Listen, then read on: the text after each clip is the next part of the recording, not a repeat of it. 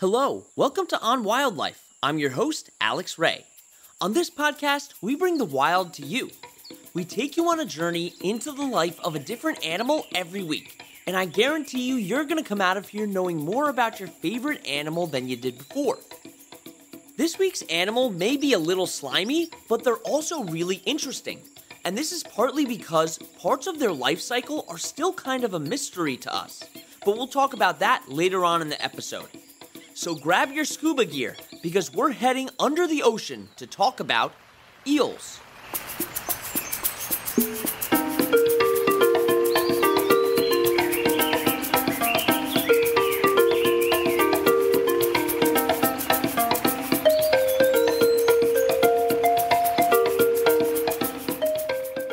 Eels belong to the order Anguilliformes, and there are around 800 different species.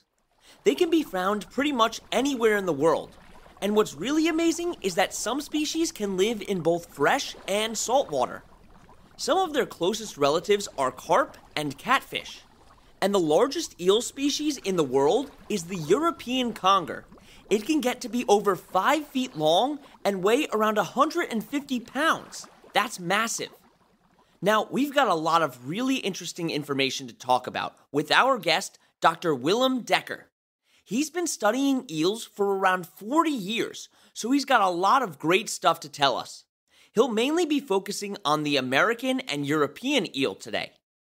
Let's hear about how he got started working with eels. I'm a classical biologist, field biologist, and I've got an interest in mathematical modeling in biology. So where can you combine classical field biology and mathematics? And my interest was especially in, in systematics of the animal kingdom. So then you end up in the marine environment. And if you add mathematics, you end up in fisheries management. For a long time, fisheries management has been based on mathematical models. So I went to the Fisheries Institute here in the Netherlands as a student. And when I had done my student's job, they wanted to keep me and they had only one position to offer, and that was to work on E. So it was purely by accident that I got involved in E. And soon after, the budgets were cut and the idea was that after three or four years, I would move on towards the full uh, marine fisheries. 40 years later, that still hasn't happened. And there's a lot of problems that Willem has had to solve throughout his years working with eels. I've enjoyed that so much to, to go from basic biology. How does the animal live? How does the fishery work? How do the fishermen live? That, that's quite a problem how does politics deal with a complex problem like the eel management? So I've been involved in all those things over the years. There are no five years I've done the same as I did before. Well, no, I've once doubled an exercise. When I moved from the Netherlands to Sweden, then I had to redo what I already had done. And I didn't like that at all. I like doing new things. 40 years later, here I am, still doing my first job and still enjoying it. Now, let's get to talking about eels. I asked about some unique adaptations that they have. Let me begin with the most controversial one. It's a fish, but it's absolutely not a fish. It's a snake. They live in the water, but it's one of the rare fish in, well, in the temperate zones that leaves the water on a routine basis. Don't expect to find an eel on, on the street. That doesn't happen. But you find them in the terrestrial habitats after the rain or after the, the spring flooding has gone, take a little bit of the marine, of the terrestrial production. And that makes it a very productive fish. The second thing is I've, I've been working in Europe, you're in America. There are two different species, an American eel and a European eel, but they are almost identical. I can't see the difference. Uh, I know a few tricks, but that's it in Europe from the North Cape down to, say, the Nile Delta, and it's all one and the same fish. And they, you can find them in the freezing north and in the desert in Egypt. And it's the same animal, both of them on the rim of the terrestrial ecosystem. A, a tremendous adaptation to circumstance. Unbelievable. That's amazing. That's really amazing. Yeah, yeah. No, and, and I can exaggerate a little bit. It is a predatory fish, but if you see him predate anything, you're ashamed to work on, on, on this species. It's so clumsy. They can eat bottom food, but if you see them collect the bottom food, you'll feel ashamed. It's so clumsy. Okay, whatever. They can do it all. Everywhere they are a little bit clumsy, but to master it all, that that's you know, truly a wonder. Yeah, absolutely. And another really interesting and crazy thing about them is their life cycle. Mid 1800s, so that's more than 150 years ago. And people were just starting to understand how fish reproduces. 1840, some Frenchmen in the eastern part of France had found out how to reproduce trout. And that was the very first time they could. There's a story behind that. And what they said is okay, we can reproduce pike, we can reproduce trout, we cannot reproduce salmon, they still haven't mastered it, and we cannot reproduce eel. But we will find out soon. And the whole optimism of take five years and we will be able to do it. Five years later, they managed to reproduce the salmon. So even the more difficult fish was within their their their options. But they didn't manage. And then they start wondering, where does this horrible animal reproduce? Do they reproduce at all? Is it something we don't recognize? And then from 1850, well, up to today, you see that they don't reproduce in the river. That's clear. And then they say, okay, it must be in front of our coast. Well, it isn't in front of the coast. And they say it must be somewhere deeper, a bit offshore but it isn't deeper offshore. And then they say, oh, maybe in the ocean. And okay, further and further and further away until in, what was it, 1906, finally, a Danish scientist thinks he has found it. He fi- finds them in the Sargasso Sea. We think they are born in the Sargasso. We still haven't seen it. Then you have a crazy larva. It's very flat and thin and jellyfish like and it lives probably for two or three years, arrives on our coast, transforms into what we call the typical eel model, stays here for, well, anything between five and 20 years. If you go to southern Europe, it's mostly five. If you go to the north, it's mostly 20. Depends on temperature. And then they have to go back to the, the sea to travel 5,000 kilometers. On their way in, they had to flow with them on their way back, they have to flow against them. 5,000 kilometers swimming against flow to mate only once, and then you die. It's amazing what these animals go through to reproduce, and that we still haven't seen it ourselves.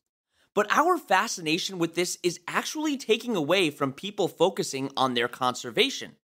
The intriguing issue of something you can't solve attracts an awful lot of attention. In my career, what I noted was that all my predecessors and all the colleagues around them, when they entered the ocean, they were lost forever. They never came back. They kept working on the ocean. So, in a very early stage, I've decided not to work on the ocean. I know it is an unsolved problem, but I won't work on it. And what we don't think about is how important eels are to the ecosystems that they live in. We'll talk about that right after the break.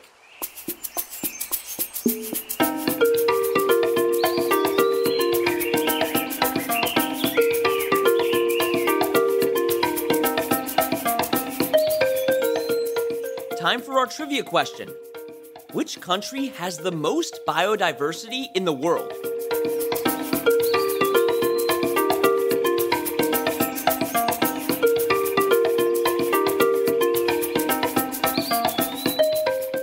Answer is Brazil, probably because it's home to a good amount of the Amazon rainforest.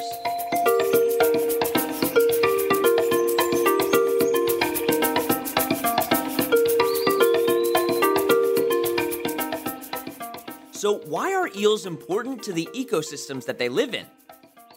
It is a species, of fish, that moves in and out. It comes from the sea, it moves into fresh water, it moves back again. There are many fish that do that, different herring species. There, there are many fish that do so.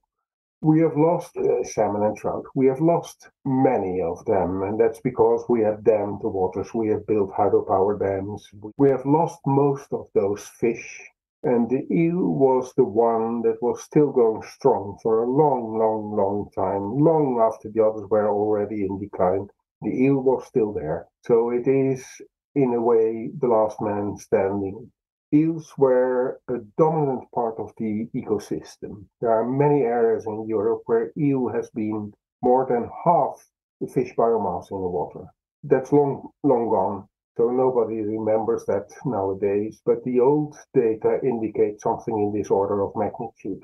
Losing half your biomass, and I'm not saying it's not replaced by another fish, but it is replaced by another fish that's not the same as an eel. So you have lost already quite so much. It has an important role for many predators, birds, otters. So eel, in a way, is the, the integration of it all. Can you do without eel? Oh, yes, definitely. It would be just another step you're losing, another uh, important factor. Yeah, absolutely. And, and you talked a, a little bit about how it used to be such a such a common fish, like 50% of the biomass and now it's declining. So, what are some of the problems that eels are facing? There are two things. One is if I look at the long term data, and long term for me is from 1800s on, onwards, you can see that the stock was in decline for decades, for at least a century, possibly for even more. On top of that, in 1980, the abundance of the youngsters coming from the ocean was still very high, and then from 1980, it suddenly started to, to collapse. 1980, 1984 was my first year in office. So I haven't seen anything. I've seen it in my youth. I remember how it was. But in my career, in my professional career, I've seen nothing but a decline. That came on top of the decline that was already slowly going on for at least a century. But now you're suddenly in very critical waters, of course, because it's going so rapidly. The youngsters from the ocean going down, and then on top of that, the the old slow decline in continental waters. What is the reason? It's difficult to say. Habitat loss is an important factor. My house in the Netherlands is just above sea level, but my garden is below sea level, and the water is pumped out, and therefore I have a garden. If you want to restore that habitat, I will lose my garden and probably the house will be gone too. That's not something we are going to do. You don't drain half of the Netherlands because you want to save the eel. So habitat loss is not just something theoretical. It's very practical all around us. All the dams have contributed, pollution has contributed, overfishing, the simple overfishing has been a very important factor in which it is not only commercial but also the recreational fisheries. Wow, so they're facing an insane amount of problems. But there are some things that are being done to help there is commercial fishery, and you must make sure that the fishery is limited. I don't say stopped, but limited. You want a certain number of spawners of mature animals to go back to the ocean to give you a new year class. If you leave it to the fisherman himself, there's nothing that will stop him. For him, any eel going to the ocean is a loss. You can find this already being discussed in 1870 but no one ever managed to do anything. And my job, my personal job in, in this whole debate about eel has been to initiate the awareness and to initiate the coordination. If you want the stock to be protected, you must limit your fishery and I must limit my fishery.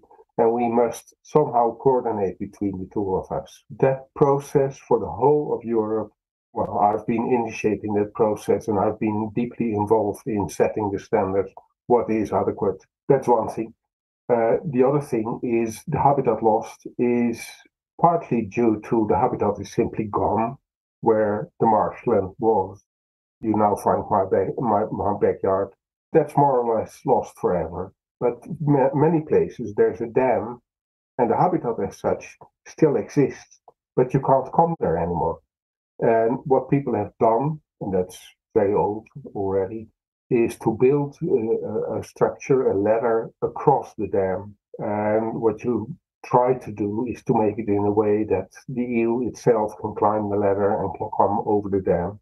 And what people have done for a long time, starts in 1840, is you pick up the eels in an area where they are very abundant and you bring them somewhere else. And deliberately saying 1840, that's the beginning of the steam trains.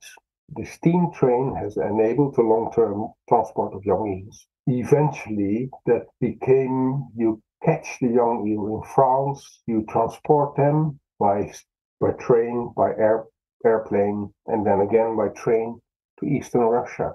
And well, it worked. That's really interesting. And it seems like there's there's a good amount that's being done on a large scale to help eels. What is something maybe the average person can do to to help eels? This is a very politically sensitive question. I understand what can I do myself. I understand the question. But what people have been advocating is let's stop the consumption of eel completely. And that is something you can do yourself. It sounds convincing.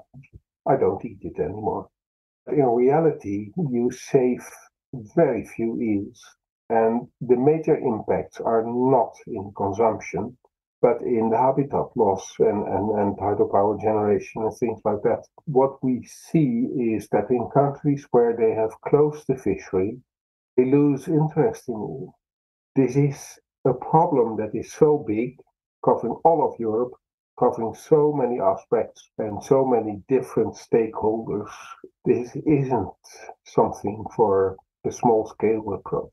You have to have a pan European approach and probably even a, worldwide approach. Otherwise, you won't be able to do anything.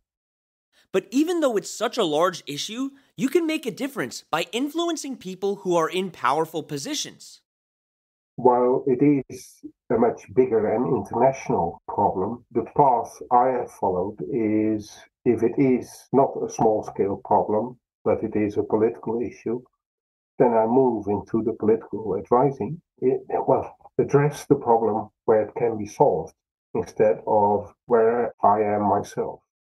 I want to thank Willem so much for coming onto the podcast and giving us some really interesting information about eels. They're facing a lot of problems, and we definitely don't talk about their issues enough. If you want to help eels, some organizations that you should take a look at are the Sustainable Eel Group, Zoological Society of London, and the Nature Conservancy. Thank you so much for coming on this adventure with me as we explored the world of eels. You can find the sources that we use for this podcast and links to organizations that we reference at onwildlife.org.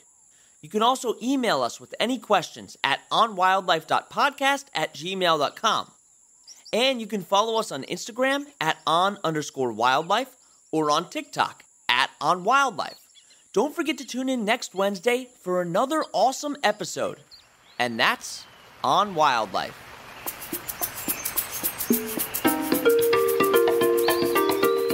You've been listening to On Wildlife with Alex Ray.